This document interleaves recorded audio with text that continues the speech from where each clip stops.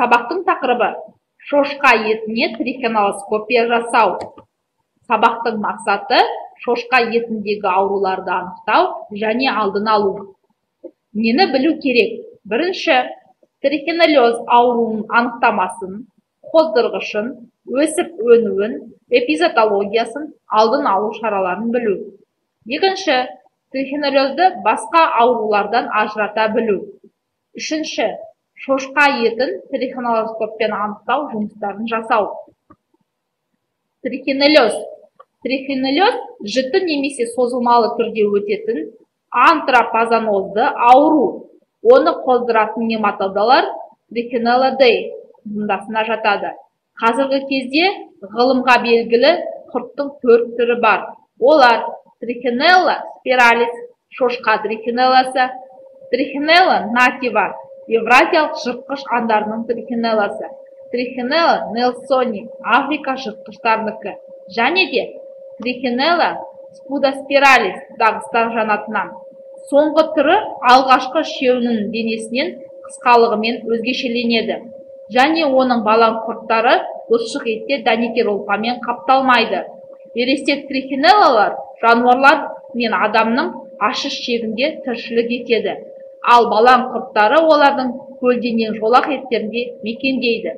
Яғни адам немесе жануарлар бірдей ақтық та аралық та иесі болып табылады.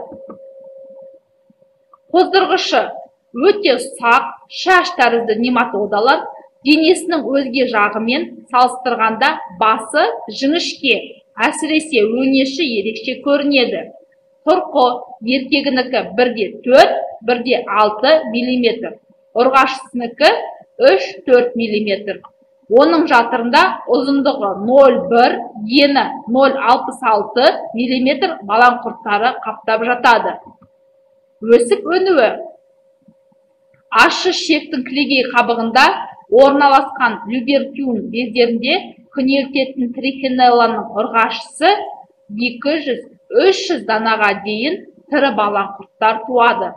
Олар сөл лимфа тамырларына еніп қан айналымының әуелі кіші одан кейін үлкен шеңбері арқылы көптеген мүшелермен ұлпаларға өтеді. Шошқа организмінде балаң құртты етке енуі 5-7 күннен кейін басталады. Ал 17 күннен соң ол шиыршықтанып оралады. 19-20 күні құрт личинкасы өзінің жұқпалы сатысына жетіп тұтастай жұқа қабықтың құрсауында қалады.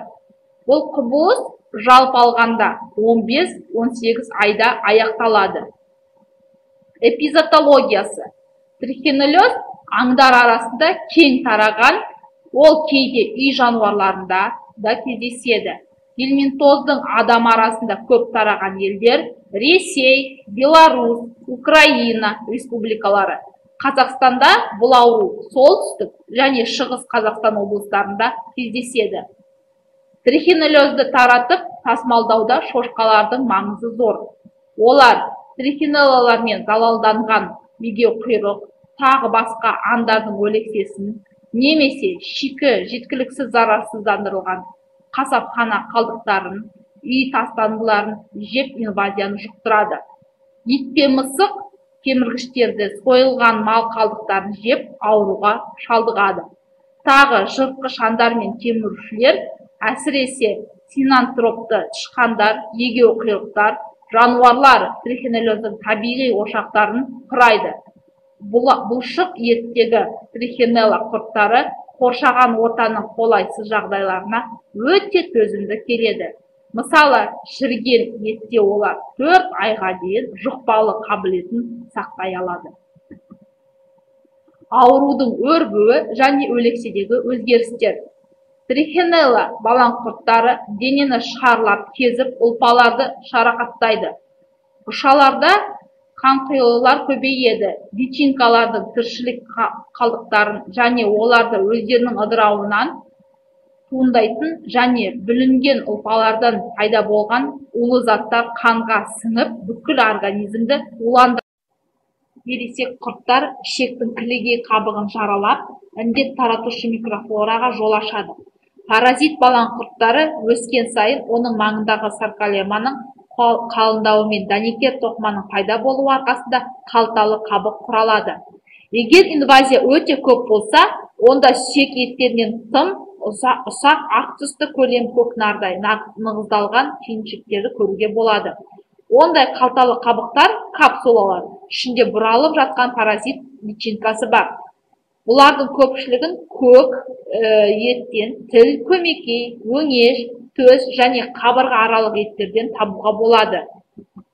Сырт белгілері.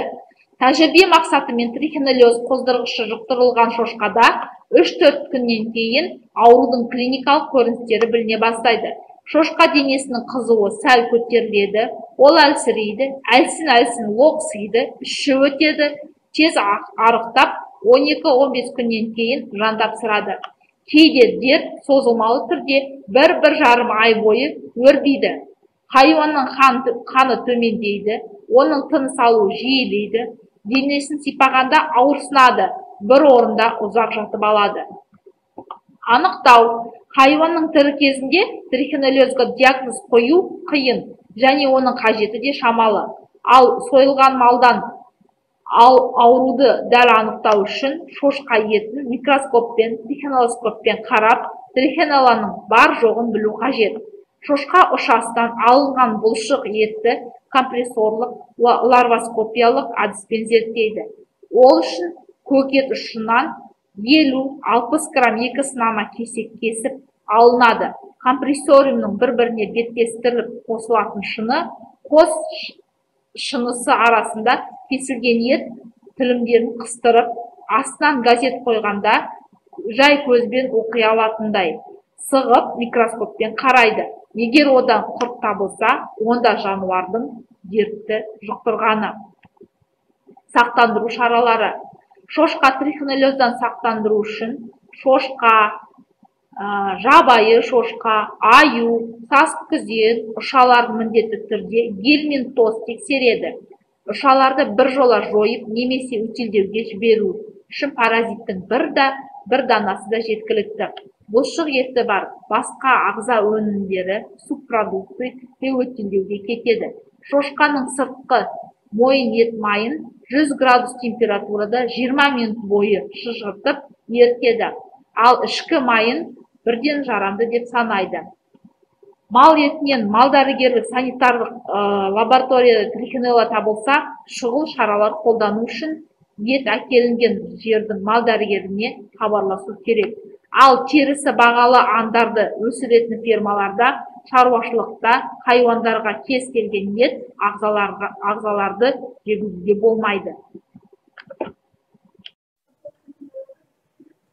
Трихинеллез божьте өтетін құрттар тудыратын гельминтозды ауру адам үй жануарлары және жабайы жануарлар ауырады ауру қоздырғышы ересек паразиттік құрттар. Асық пен асқазанға түсіп қорытылып трихинеллездің балаңқұрттары капсуладан босап шығады. Ішектердің кірегей қабықтарына барып орналасады. Аналық құрттар көбейеді трихинелла тез өсетін паразиттік құрттар трихинелланы жұқтырғаннан кейін төртінші тәулікте әр аналық құрттан екі жүз мың балаң құрттар дамиды олар лимфа түйіндерінде және қан тамырларына еніп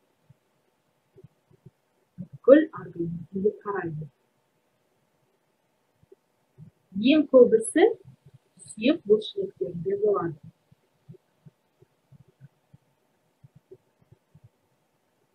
Осы жерде личинкалар дамиды талшық еттерді түзедіп личинкалар оралып инвазивді болады. Домалақ капсула пайда болады.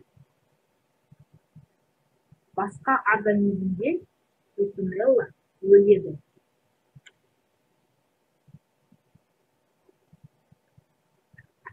трихинеллаға үй жануарлары мен жабайы жануарлардың жүз түрі бөлін бұлар трихинелласы бар бет қалдықтарын жеп жұқтырады. Трихинеллездің циркуляциясы диациноз жабайы жануарлар арасында да және үй жануарларында да болады. Адамға жұқпау тудырады.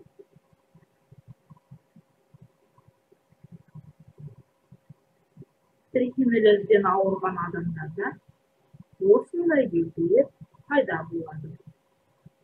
Беттің ісінуі лихорадка бұлшық етінің ауырсынуы терінің қызаруы ауруды анықтау үшін қан қабылдаулары жүргізіледі.